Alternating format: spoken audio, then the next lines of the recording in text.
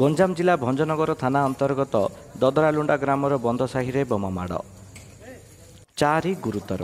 ଗୁରୁତରମାନେ ହେଲେ ଚନ୍ଦନ ନାଇକ ଦିଗମ୍ବର ନାଇକ ରିତୁ ନାଇକ କୃଷ୍ଣ ଗୌଡ଼। ସମସ୍ତେ ଶହେ ଆଠ ଆମ୍ବୁଲାନ୍ସ ଯୋଗେ ଭଞ୍ଜନଗର ମେଡିକାଲରେ ଭର୍ତ୍ତି ହୋଇଥିବା ବେଳେ କୃଷ୍ଣ ଗୌଡ଼ଙ୍କ ଅବସ୍ଥା ସଙ୍କଟାପନ୍ନ ଥିବାରୁ ତାଙ୍କୁ ଶହେ ଆଠ ଆମ୍ବୁଲାନ୍ସ ଯୋଗେ ବ୍ରହ୍ମପୁର ବଡ଼ ମେଡିକାଲକୁ ସ୍ଥାନାନ୍ତର କରାଯାଇଥିଲା। କିନ୍ତୁ ରାସ୍ତାରେ ତାଙ୍କର ମୃତ୍ୟୁ ଘଟିଛି। ଅନ୍ୟପଟେ ଏହି ଘଟଣାରେ ଅନ୍ୟ ଆହତମାନେ ଭଞ୍ଜନଗର ମେଡିକାଲରେ ଚିକିତ୍ସିତ ହେଉଛନ୍ତି। ଏହି ବୋମାଣ୍ଡିଂର ଅସଲ କାରଣ ଜଣାପଡ଼ିନଥିବା ବେଳେ ପୂର୍ବ ଶତ୍ରୁତାକୁ ନେଇ ଏହି ଘଟଣା ଘଟିଥିବା ଅନୁମାନ କରାଯାଉଛି।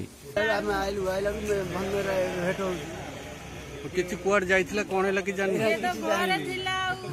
ନାଇଁ ଗାଁରେ କଣ ଗଣ୍ଡଗୋଳ ହେଇଛି? ନାଇଁ ଗଣ୍ଡଗୋଳ କିଛି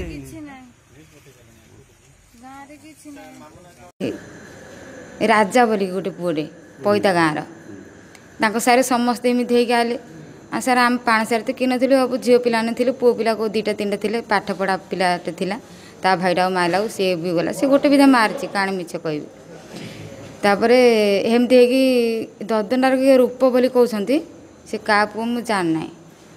ସିଏ ଯାଇକିରି ଦଦଣ୍ଡାର ସବୁ ପିଲାମାନେ ଓଡ଼ିଆ ସାହିରେ ପିଲାମାନେ ଯାଇକି ପଇତା ଗାଁ ଆଉ ଦଦଣ୍ଡାର ପିଲା ସାହି ଆମ ସାହି ଗଣ୍ଡଗୋଳ କଲେ। ମାରପଡ଼ା ପୁରା ସାହି ଭିତରେ ପଶିଗଲେ। ଡରିକି ରହିଲୁ କିଏ କରୁ କିଏ ତ ନାହାନ୍ତି କାହାକୁ କହିବୁ ଆମକୁ ହାରି ଆଉ। ସମସ୍ତେ ଡରିକିରି ରହିଲୁ ଡରିକି ରହିକିରି ସେଠୁ କହିଲେ ହଉ ସେ ରୂପ କହିଲା ବୋଲେ ହଉ ସମାଧାନ କରିଦେ ଆଉ ତଳେ ଦିନ ଦିନ କିଛି ହେବନି।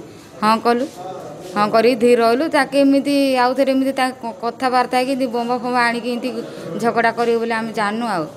ସାର୍ ଆଉ ଜଣକୁ ତଡ଼ି ନେଇଛନ୍ତି ସେ ଆମ୍ବ ମୂଳେ ଯେ ବିଲ ମାଳ ସାର୍ ସେ କୁଆଡ଼େ ଗଲା ଆମେ ଜାଣିନୁ ହେଲେ। ଘଟଣାସ୍ଥଳରେ ଭଞ୍ଜନଗର ପୋଲିସ ପହଞ୍ଚି ଛଅ ଜଣଙ୍କୁ ଅଟକ ରଖି ତଦନ୍ତ ଜାରି ରଖିଛି।